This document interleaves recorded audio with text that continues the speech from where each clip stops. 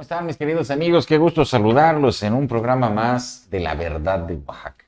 Sí decimos la verdad, las cosas como son. No hay acuerdos con nadie más que con ustedes que nos están viendo. Para ustedes hacemos el programa y les agradecemos mucho que nos acompañen en este espacio informativo, La Verdad de Oaxaca.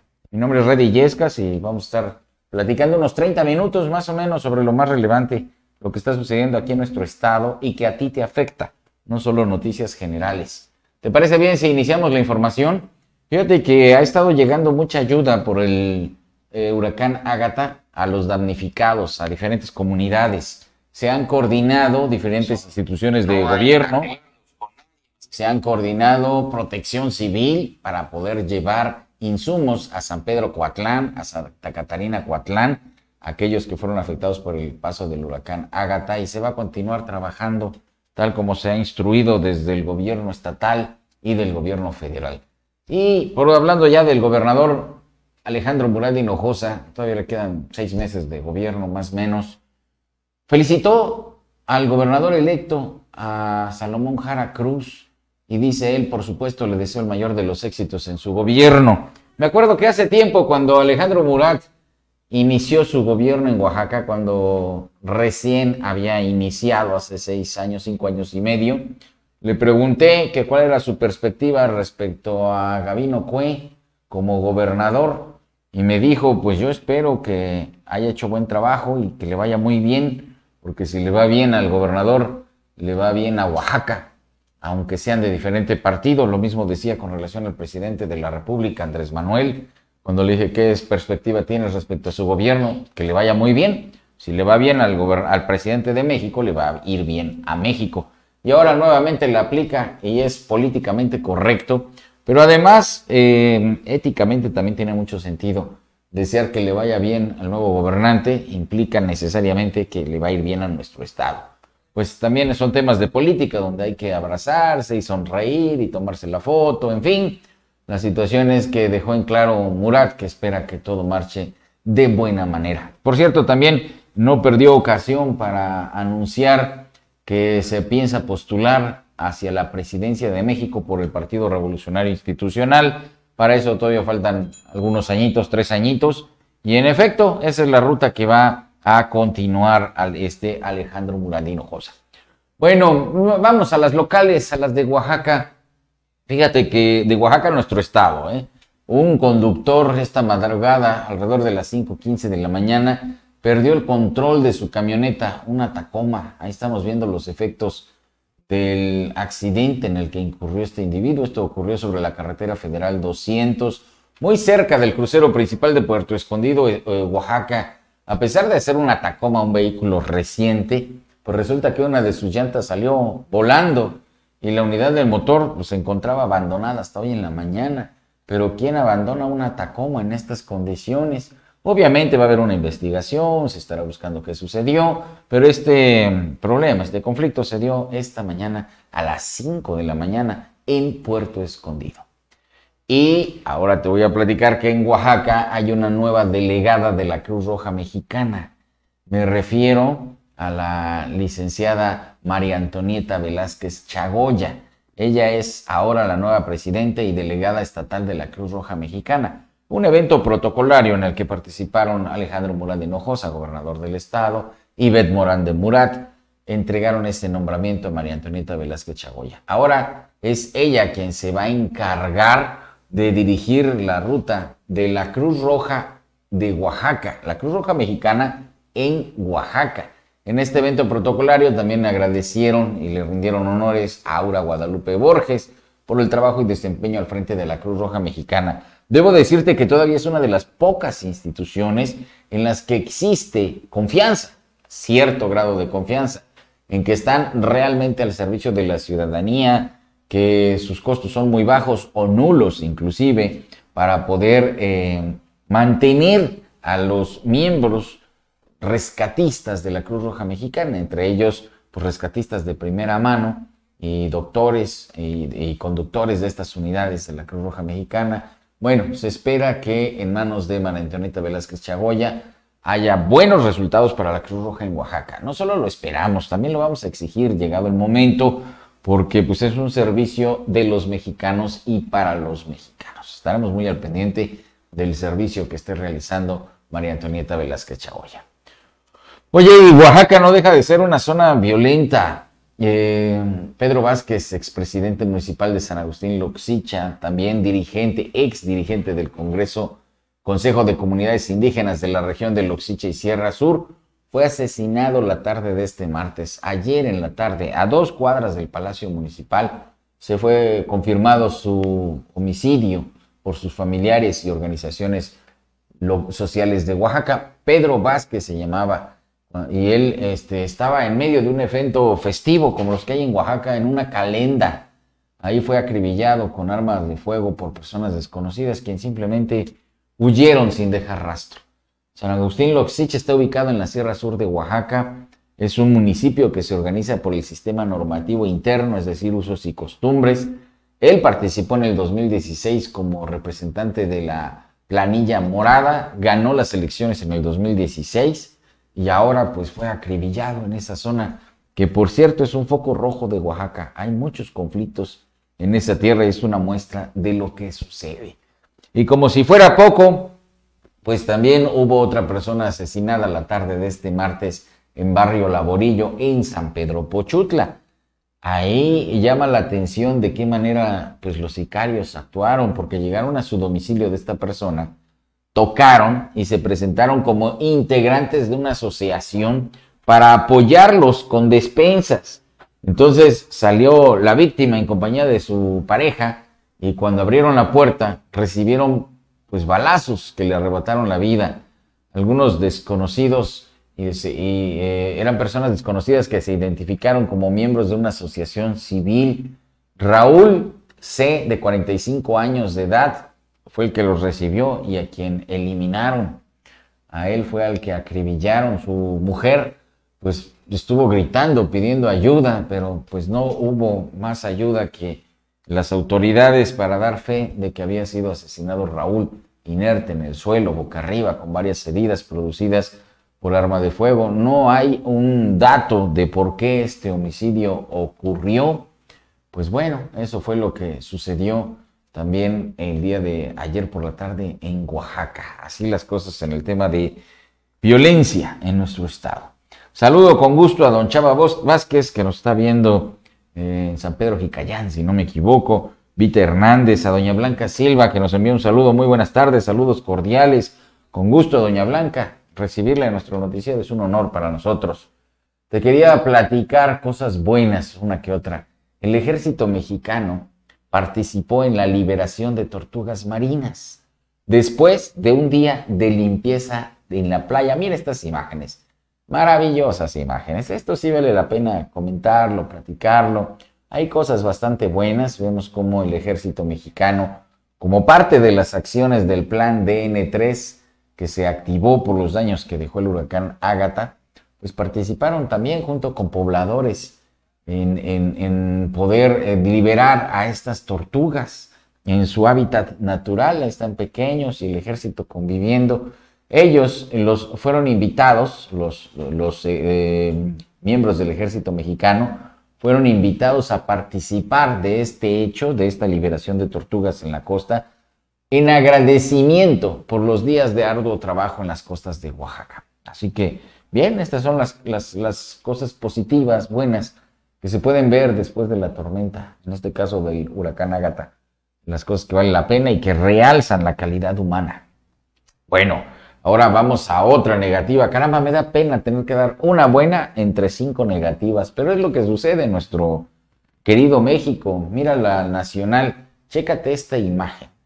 Este es el nivel de descaro, de, de desfachatez total de grupos criminales organizados. Ocurrió en San Cristóbal, Chiapas. Los motonetos son los que son estos tipos, estos sujetos que pertenecen a cárteles de células criminales. Durante cinco horas, cuatro horas y media para ser exactos, dispararon, quemaron vehículos, bloquearon calles, tomaron el control de una parte de San Cristóbal de las Casas hasta que empezó la lluvia o se cansaron de hacer sus desmanes. Fue que se fueron sin que ninguna autoridad se apersonara en la zona de conflicto. Una centena de hombres armados son los que sembraron el terror en la ciudad de San Cristóbal, Chiapas. Caramba, ¿por qué sucede esto? Otrora tiempos, Chiapas era uno de los lugares más tranquilos, más calmados, así como Oaxaca solía ser. Calma, tranquilidad, paz. Y hoy no. La población entera se tuvo que refugiar en hoteles, tiendas, negocios, escuelas, en sus casas, donde pudieron. Llamaban desesperados a los números de emergencia pidiendo ayuda porque niños, niñas, estudiantes habían quedado atrapados en las escuelas en medio del caos que sembraron estos llamados motonetos. Textualmente dijeron, nos estamos resguardando un grupo de personas, niñas, adultos y hombres en el Hotel Villa Vanessa, a quienes agradezco probablemente, profundamente por dejarnos pasar. Estamos desde las 13:40 horas y en ningún momento hemos visto pasar a la Guardia Nacional, a la milicia, a los policías municipales. Nadie se ha aparecido. Han brillado por su ausencia, dijo uno de los testigos oculares, de los testigos que vivió esta agresión allá en Chiapas, en San Cristóbal, Chiapas. Aquí tenemos que aplicar la del presidente. Abrajos, no balajos. ¿Verdad? Hubieran salido a abrazar a sus criminales, a sus captores, a darles abrazos, besos, acusarlos con su mamá por su mal comportamiento. Honestamente me pregunto, ¿en qué visión cabe poder resolver los problemas con esta perspectiva. No con estas personas, definitivamente es imposible. Y eso pasó en Chiapas. El día de ayer fue cuando ocurrieron este tipo de desmanes. Bueno, vamos a darle un giro a la información, platiquemos de otra cosa. Encontraron a un hombre en el aeropuerto a través de la Estrategia de Nacional de Seguridad Pública. Los integrantes de la Guardia Nacional encontraron este paquetito allá en Acapulco, Guerrero un pasajero que iba a subir al avión con estas bolsitas, cuyo contenido son casi 10 millones de pesos. Así en efectivo, como si fueran, ¿qué le te gusta? Ropa vieja en su maleta. Se llevaba estos fajos y fajos y fajos de billetes, casi 10 millones de pesos sin poder acreditar de dónde salió este dinero. El boletín que publicaron el lunes de esta semana eh, indicaron que los guardias nacionales habían detectado varios paquetes sospechosos a través de una máquina de rayos X, que es por donde pasa toda la paquetería que subes al avión. Cuando revisaron detenidamente el equipaje, en efecto, había tres bolsas de tela con fajos de billetes de diversas denominaciones en moneda nacional, casi 10 millones de pesos. Este sujeto que iba a viajar pretendía llegar en avión privado a la ciudad de Toluca, el Estado de México. Además llevaba un arma de fuego, así la dulce palomita. Esta no contaba con la documentación correspondiente para su portación y traslado. Obviamente fue remitida a las autoridades en turno. Pero pues a ver qué sucede con estos casos. La mayoría de las personas que viajan con armas y con tales cantidades de dinero son miembros del crimen organizado, pertenecen a células criminales cuyo negocio por lo general es la compra-venta de droga, de estupefacientes. Sin embargo, no se puede acusar a nadie hasta que se determine la responsabilidad de este sujeto en, este caso. Pero eso fue lo que sucedió en, Acapulco Guerrero. ¿Cómo ves? El lunes fue que salió este comunicado y sí, se ha convertido en una célula roja también Acapulco Guerrero, una zona para el trasiego de droga, entrada y salida de, estupefacientes. Eh, cosas que suceden en México. Bueno, vamos a aterrizar a nuestro estado, a Oaxaca para platicarte que estamos recibiendo un canal de mucha lluvia porque al suroeste de la costa de Chiapas hay una baja presión, una zona de convergencia intertropical, dicho de otra manera, se está formando un ciclón. En los siguientes días estaremos viendo lluvias con gran fuerza. Por el momento está la probabilidad de que se convierta en ciclón del 50% proyectado a 48 horas. Además, la onda tropical 5 y 6, que son las que están golpeando ahorita nuestro país en el sur-sureste, van a ser absorbidas por este sistema, que sumado a las bandas circuncidantes del ciclón tropical, ojo, es un ciclón tropical, no es lo mismo que un huracán, ¿eh? Blas se encuentra frente a las costas de Guerrero, así que por todos los francos nos está lloviendo y nos está lloviendo sabroso. Esto nos lo dice Protección Civil, que tenemos que extremar precauciones, no son lluvias que estén golpeando directamente en Oaxaca, están en Chiapas, están en Guerrero, por ahora. Pero definitivamente van a, haber descargas pluviales muy intensas en la costa, en el istmo, en la Sierra Sur, en la Mixteca, en la cuenca del Papaloapan y en la Sierra Norte. Así que por favor a extremar precauciones, porque además se anuncia el mar de fondo, olas de 2 a 3 metros de altura, fuertes corrientes de retorno. Así que CEPCO, Comisión Estatal de Coordinación Estatal de Protección Civil de Oaxaca, recomienda precaución a los ríos y a las crecidas repentinas. Hay alta probabilidad de calles anegadas en zonas urbanas. Habrá deslizamientos de laderas en zonas montañosas y que hay que tener precaución con las tormentas eléctricas, las ráfagas de viento. Hay que buscar refugio en lugares seguros, árboles no. Si está lloviendo, lo peor que puedes hacer es irte a refugiar bajo la sombra de un árbol, porque son ellos los que jalan las energías eléctricas, los rayos, y son estos los que generan muerte. Tengan cuidado, por favor, Protección Civil ya hizo su tarea y nosotros como comunicadores ya te platicamos cómo estará el clima para que extremes precauciones. Si no tienes que salir a carretera, no lo hagas. Evítalo, preferentemente en estos días, porque está muy agresivo el sistema meteorológico, el climático. Oye, voy a darte alguna información eh, diferente. Bueno, no sin antes saludar a Axi García, que nos dice saludos y bendiciones. Axi, qué gusto saludarte. Me da mucho gusto verte en línea y que nos acompañes en el programa. También que compartas, por supuesto. Les decía que el Instituto Estatal de Educación para Adultos entregó certificados en la villa de Sachila. Gran alegría la que vivieron allá en Sachila. Eh, se trata de la coordinación de zona 2025 en Jojocotlán, que estuvieron realizando entrega de certificados en la Plaza Centro Comunitario Vicente Guerrero, que está ubicado en la agencia municipal eh, Vicente Guerrero de la villa de Sachila. Ahí retomaron asesorías en todas las plazas comunitarias de las 26 coordinaciones de zona que hay en el estado. Y la invitación es muy clara a todos los mayores de 15 años que por alguna razón no han podido estudiar su secundaria, su primaria. Incluso ya estamos hablando de un programa de atención para preparatoria que se acerquen al Instituto Estatal de Educación para Adultos. Los servicios son totalmente gratuitos y puedes solamente hacer un examen y obtienes tu certificado de secundaria, tu certificado de, primaria.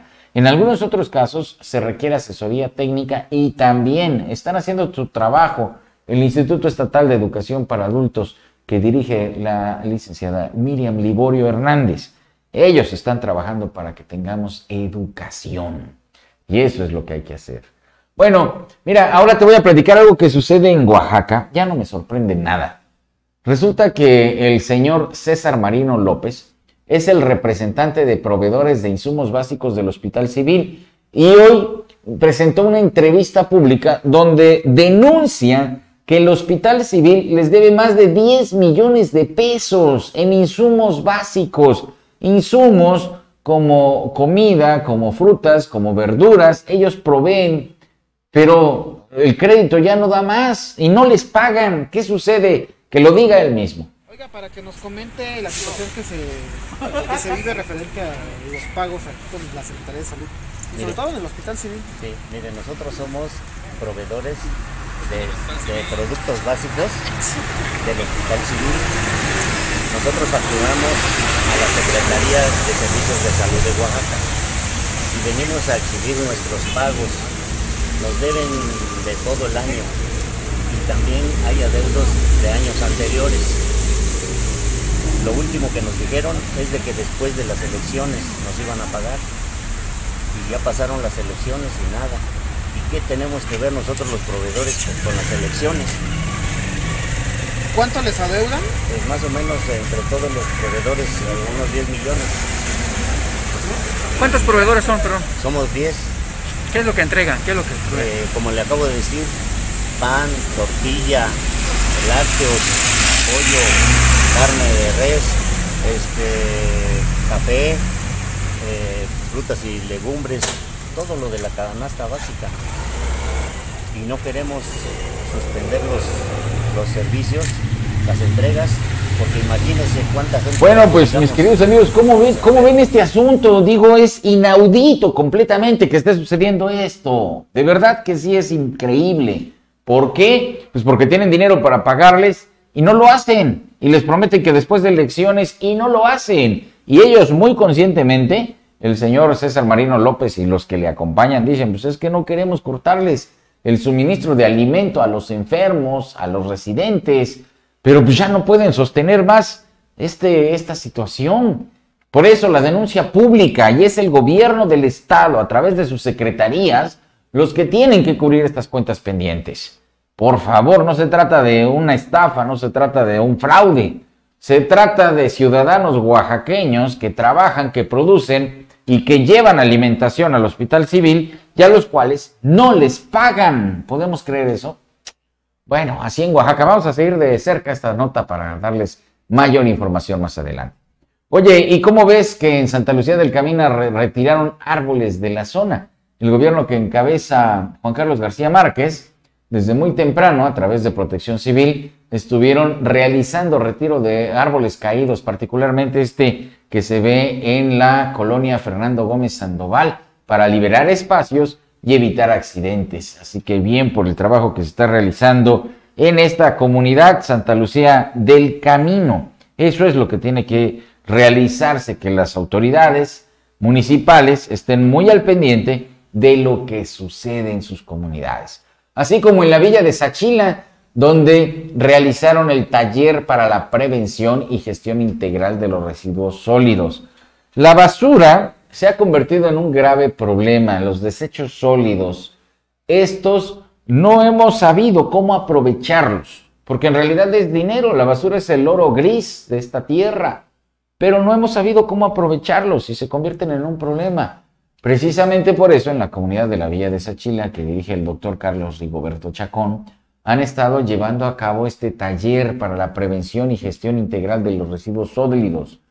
Este programa municipal, que además fue impartido por la Secretaría del Medio Ambiente, Energías y Desarrollo Sustentable, busca aprender a trabajar con la basura y cómo poder eh, eh, deshacernos de la basura de manera positiva, incluso hasta generar economía. En este evento participaron los municipios de la Villa de Sachila, San Lorenzo Cacautepec, San Jacinto Amilpa, Santa María Tonameca, San Bartolo Coyotepec, Miahuatlán y Santiago Pinotepa Nacional. Y no es, no, es, no es que sea algo nada más porque sí, es porque los presidentes municipales hacen uso de los programas que se ofrecen a través del gobierno estatal. En este caso, Sachila lo está haciendo en manos del doctor Carlos Rigoberto Chacón. Ahora quiero platicarte sobre eh, Santa Cruz Jojocotlán. Ahí en Santa Cruz Jojocotlán hay una coordinación de servicios municipales que se está encargando de recoger la basura en los jardines de niño de la colonia Rufino Tamayo y de Esquipulas Jojo.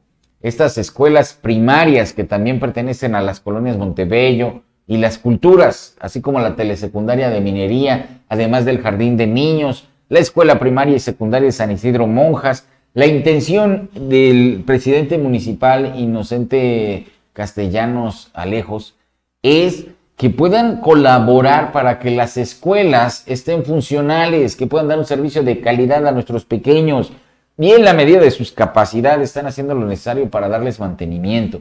Por lo pronto vimos las unidades de motor del municipio recorriendo todas las escuelas, desde jardines de niños hasta primarias y próximamente secundarias, no, también secundarias, para recoger los desechos que ahí hay a fin de que puedan participar los pequeños libremente de escuelas, en sus escuelas. Bueno, ahora te quiero hablar de otro tema que tiene que ver con Santa Cruz, Jojocotlán.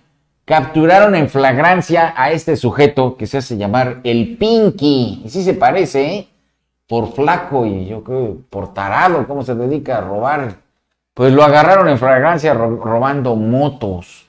Eso es lo que ocurrió, buscando darle seguridad a las familias de Santa Cruz, Jojocotlán. Fue la policía municipal quien detuvo a este sujeto en el momento en que intentaba, intentaba robarse una moto en la calle Ignacio Aldama de la colonia Granjas de Aguayo. La persona fue identificada como Ángel GCJ, de 18 años de edad, mejor conocido como el Pinky, originario de Miahuatlán de Porfirio Díaz, pero vecino de la colonia Benemérito de Santa Cruz, Jojocotlán. La seña particular es su tatuaje en el brazo derecho. O sea, todavía que se dedican a robar, están llenos de tatuajes como para que los identifiquen con claridad. Este sujeto dijo que se dedicaba a la albañilería, pero consumiendo este, sustancias tóxicas, la conocida como cristal. En esas condiciones, en medio de la drogadicción, se dedica al robo de vehículos y en este caso intentaba robarse una motocicleta. Ojalá, si lo reconoces, pon otra vez la cara del condenado Pinky este, si lo reconoces, acudas a presentar una denuncia formal, porque es la única manera en que estos sujetos pueden pagar por sus fechorías. Es la única manera en que pueden pisar la cárcel y mantenerse ahí, porque se convierten en parásitos de la sociedad, gente buena para nada. No trabajan, no estudian, no trabajan, no hacen nada, excepto robar y drogarse. Y para que permanezcan en prisión hay que denunciar, hay que decir, este sujeto me robó, obviamente sí fue verdad. Es lo que está promoviendo el municipio de Santa Cruz, Jojotlán. Bueno, y me voy a una última nota, el Congreso de Oaxaca. Yo solo hablo del Congreso cuando dicen algo que vale la pena. No estamos sujetos a, hacerles gordo el caldo con bla, bla, bla. Ahorita lo que metieron a, reformar estos eh, diputados de Morena, que te voy a mencionar ahorita, es el artículo 69 de la Constitución del Estado de Oaxaca. La intención es garantizar paridad de género en la titularidad del Poder Ejecutivo del Estado. Nótese, este es el primer intento para hacer que el próximo año, en vez de ser gobernador, sea gobernadora. Y ya por ley, ¿eh? esto llama mucho la atención. Por eso te digo que solamente presentamos información que realmente te interesa, te sacude, tiene algo que ver contigo. Se trata de los diputados Melina Hernández Sosa, Concepción Rueda Gómez, Horacio Sosa Villavicencio, Cecil Bolaños López y César David Mateos. Todos ellos de Morena, quienes metieron esta iniciativa con intención de que se modifique la ley del Estado de Oaxaca a fin de que la próxima vez que se renove el Poder Ejecutivo se haga de manera alternada. Es decir, hoy fue un hombre, Salomón Jara, quien es considerado el gobernador electo de Oaxaca, y la próxima vez se espera que sea alternado con alguna mujer en calidad de gobernadora. Así que sí, esto sí estaría causando una verdadera lucha contra el, tema de justicia genérica, eh, que haya paridad en la política, pero de verdad paridad en la política una vez hombre, una vez mujer. Y eso para la mayoría de los cargos de elección popular. ¿Qué les parece? Interesante, ¿a poco no? Pues muchas gracias a todos los que nos siguen de cerca. A mi señora que me está viendo, Vicky Aragón, un besote enorme. Gracias por estar con nosotros, por compartir este programa. Es lo único que les pedimos, que nos ayuden a compartir. Y nos vemos mañana, si todo sale bien. Esperamos a eso de las 3 de la tarde. Muchas gracias. Buen provecho. Buenas tardes.